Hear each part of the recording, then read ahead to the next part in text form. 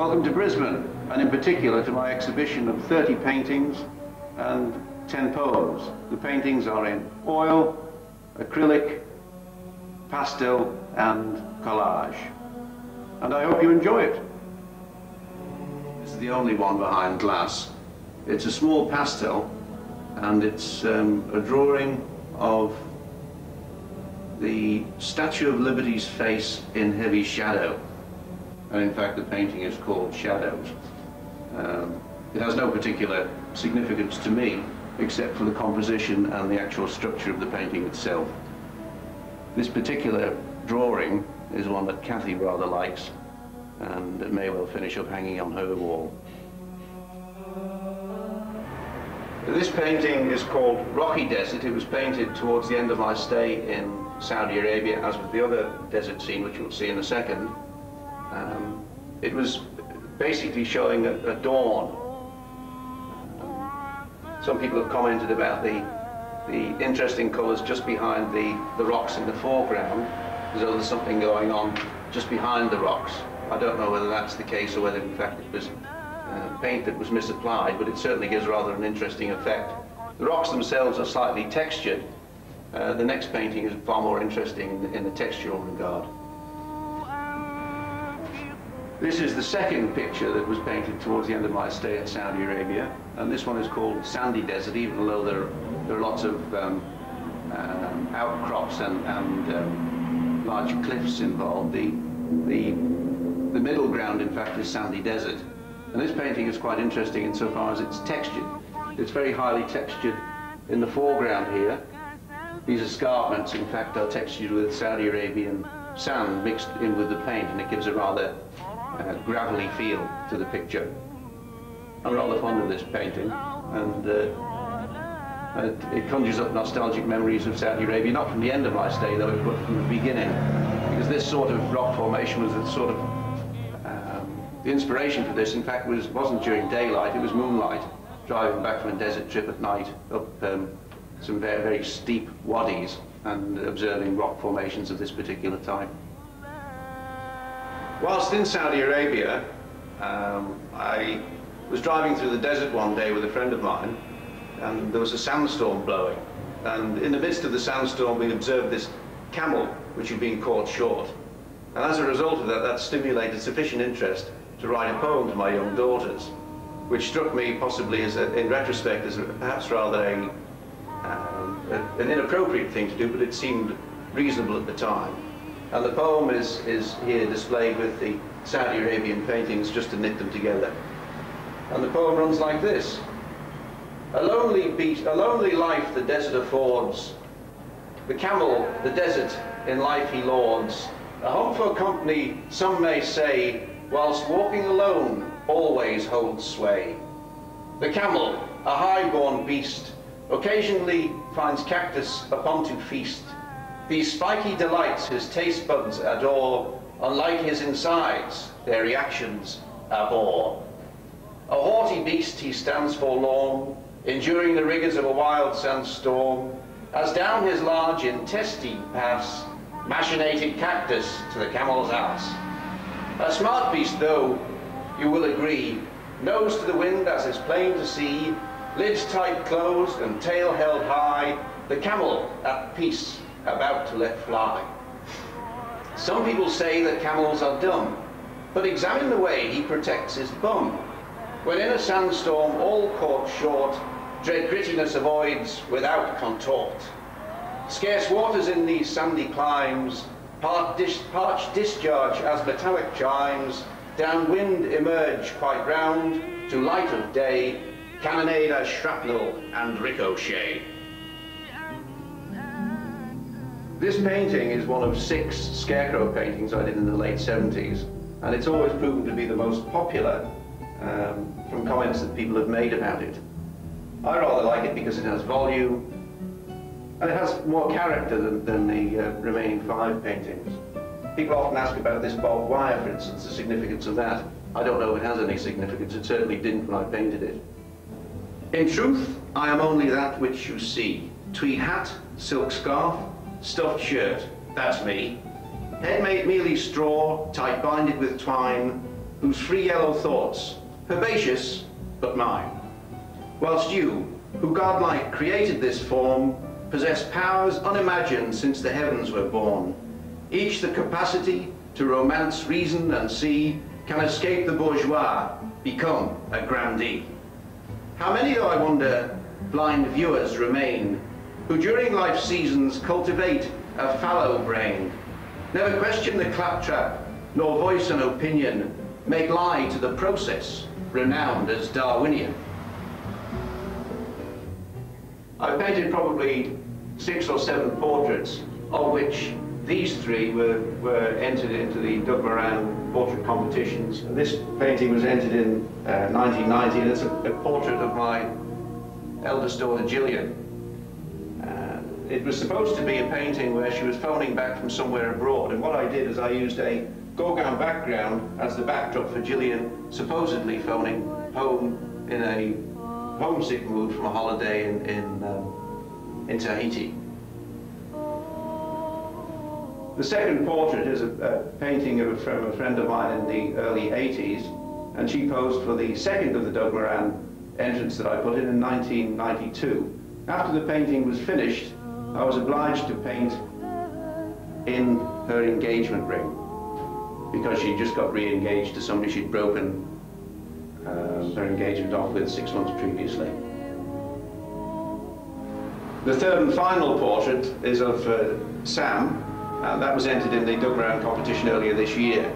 And I think in lots of ways it's possibly the finest of the, of the portraits I've done to date. Particularly the hair I find nice and loose, although her hair is in fact a lighter colour than that. The Jazz Man is a relatively small painting, uh, rather colourful, and the main interest in this painting is the textural difference between the curtains, the flesh, and of course the metal and the instrument. And the bell, which you can now see, was the part which naturally presented the most problem to get the reflections correct. Animal named the players, baited in the pit. Insiders get the money, punters get the writ. Full service selected blue chips, stoking optimistic passion. Bears gorge sweet pink smoked salmon, shorting pessimistic fashion. Margins tempt an arbitrage as premiums hit a peak. Corrections lure the fisherman, large rebounds for to seek. Commodities of all shades find outlet in the ring. Hedgers cover exposure, speculators insurance bring. All the world is at it, borders no frontier, governments twitch and tremble if currency weakness appear, volatile indices soaring which often overshoot, whilst so-called informed sources make off with all the loot. Professor Lovelock uh, proposed a theory of Gaia, which basically states that without life on Earth, life couldn't exist on Earth. It sounds a bit circular, but basically what it means, if there was no life on Earth, undertaking chemical actions in the atmosphere, the atmosphere would degenerate and oxidation would go so that life could not exist on Earth. The fact that it does makes it persist. And these paintings behind me are Gaia 1, 2 and 3, uh, the first in a series of paintings which I intend to do on Gaia, Mother Earth. Fairs and Jug, a still life which I rather enjoy. The stroke such a small thing it seems, a capillary or two, but when one bursts, as they're inclined to do, the merest drop of red blood's intrusion may bequeath a brain of frightful confusion. Pig's heads may appear to be rather a strange topic for a painting. However, I like it. I can't explain why I painted it in the first place. The colours are rather nice. Most people like them. I like it as a painting. In fact, it was going to be called The Smiles That Launched 2,000 Pork Sausages, but in fact it's called Butchery. The Conformist. Some people thought it should be called The Nonconformist, but the idea behind this painting was that a free spirit is born but becomes pigeonholed by virtue of life squeezing them into a, a pattern and slotting them into, a, into their little square where they remain unless they can break free and once again become a free spirit. Politics. Politics game of personal power. Illusionists play with minds that sour, whose elixir's thirst is never quenched. So clowns and fools become front benched. Soapbox now defunct as stage, TV's brought their image of age. Powdered nose masks sweaty shine, sharpened teeth for smile divine. Humblest hovel their snout intrudes, close up glisten as greed exudes, hunger's all-consuming thought, ambition will always the truth distort. None of this the powerful say. Hurt the people in any way, just in heart and soul and mind, shrouded in magic of every kind. Lobbyists pray, perform each show, addicts grip holds honesty low, conjurers whirl, rabbits appear, deceit, deception, and mirrors here. Brightest star, oh brilliance blinding, twist and turn in contortions binding, levitate and leap with movements hypnotic. The ringleader, of course, direction, quixotic. The paintings we're looking at now have in common the fact that they're quite angular. The first painting, in fact, is a collage. It's called packaging, and the reason for that is, it, is that the main, the main collage on the, on, the, on the canvas is the packaging from three shirts that I bought in a Christmas sale. The next painting is Craig Niche, which in fact probably is the most popular painting here. Certainly it's the one that Maggie likes best of all, and she's asked me to leave it to her in my will, but of course I explained that wasn't possible because she'd be dead before me. And the third one is called Clash, which is self-explanatory. This painting is called Divorce, and the poem that was written to accompany it is called Seasons. All fresh and new, bird, animal, and tree, sweet flowers perform the hum of the bee. Love's chance encounter, romance's soft kiss, spring's perfect song, life's duet of bliss. United in purpose by rituals blessed, builds neatly a nest secure and protected. Balmy soft air, herb scented, so heady. Greedy plump chicks, movements hesitant, unsteady. Dark skies do gather, leaves crackle and drift, nest now neglected, young soar on sure lift. Time for departure as temperatures fall, cold distance and darkness now separate all. Knife edge the wind, trees skeletal bare, howls icy the chorus of chill and despair. What brought it to this? Who pointed the bone? Scattered and emptied, no body at home.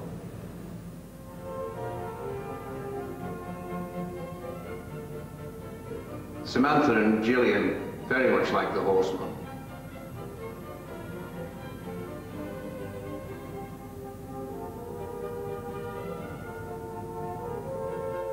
The Bagman with the accompanying poem called Louvre Metro. Reflections of Egypt haunt the cavernous tomb counterfeit art neath Europe's cultural womb, originals baggage for Pharaoh's ascendants, copies adornment for Louvre Metro resplendence. No clattering contraption, nor cast iron relic, no howling banshee, nor transport angelic, mere soft-seated comfort, swift, silent and smooth, moves travellers and pilgrims to Gare de la Louvre. Aboard the bright train, each clutching a docket, crowded isolation, beware the pickpocket, sweeps from the blackness, then groans to a halt. Staccato sharp echoes, swift heels flee the vault. As midnight is sounded, chilled silence descends. Alone on the platform, a bundle unbends. A stiff, ragged mummy into overcoat skins. The bagman is moving. His night's vigil begins. Serious games. Cigar smoke lingers as stakes are raised elegantly dressed, but with vision glazed, retreat to confer with insiders few, assessing the game about to ensue. Delaying tactics, ordered, not hasty, as rich and powerful maneuver to safety, reviewing alternatives for subtle position, dividend enrichment by official requisition. border incursion or broadcast insult designed to infuriate, provoking tumult. Motivation enough mobilizes the troops, hoodwinked and played the masses of dupes. Professional or conscript, differences blurred. Officer or squaddy, similarities absurd. Bellboy recast as frontline man, dapper subaltern schooled a gentleman. Irony exists in every place. Society, the military, paradox embrace. Wealthy, the poor en masse defend. Deprived, the rich to war do send. Officers, soldiers, the prisoner of law and command, spill blood and die, red spattered the sand. Protector's reward for castrated ambition, a fistful of granite, a memorial inscription. Confused and dejected, battered and twisted, survived lunatic antics, headquarters enlisted, praying and killing and praying again, emotions exhausted, trying to stay sane. When it's all over, the killing all done, the ranks demobbed, the dole queues begun, one question persists. What benefit all that? State secret, insists the blue blood diplomat. This rather strange picture is called The. And this other rather strange painting is called Left and Right, and there's a poem that accompanies that called On the Other Hand. Once socialist dogma, eternal, dangerous, yet trite, droned numbingly a slogan, the left only is right. Now capitalist messiahs of conscience bereft sponsor laissez-faire's prophecy, the right solely be left. This painting and poem have the same name, The Convert. Born a child, plump and round, cradled in softness, eyes heavenward bound. Warm and secure in Luther's fair land, now Christ's with the Kaiser, change is at hand. Young thoughts are moulded, taking all in, preached at and praying to alleviate sin, nurtured vocation in heavenly cause, devotional study, Jehovah's great laws. Pastor's conviction in sermons furor, ruralist quiet beside the great war. Eulogist chorus for coffins of stenches buries the debris straight out of the trenches. Lunatic conflict and now reparation, out of control amid hyperinflation. Cultural turmoil, more death and despair, evaporate souls into frozen thin air. Aristocrat's replacement, a man of the people, brown-shirted rejoicing rings out from each steeple, tight-faced and strutting, godlike to some. Now it's official, death's Messiah has come. Renaissance of beggars to nation of plenty, cleric's conversion to God supplementary. Oaths by fanatics with flashes resplendent, swastika sash over crucifix pendant. Myopic perspective through monocle vision, just following orders? No, a personal decision. Dictator's obsession, the final solution, genocide, the cleric gave mock absolution. Unrepentantly stony, red-faced and sinister, reflections of hell catch the regiment's minister, hypocrisy's mask, both full face and profile, officially pardoned was death set's Gentile. I once bought a painting from a friend of mine, and this, this artist eventually came to stay at my house for a week, and whilst he was staying there, he repainted this painting that I bought from him. He changed some of the flowers. So I painted this to uh, try to capture the background in his painting. We're coming to the end of the exhibition, and after Shy Doris, there's one more painting.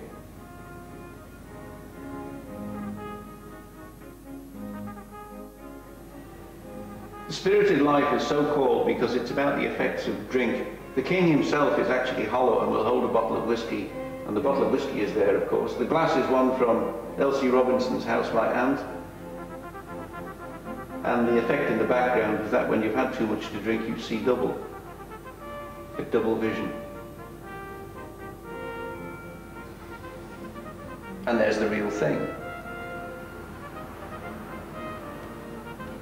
Well, that's the total spectrum of the exhibition. I hope you've thoroughly enjoyed it. I certainly have. Happy days.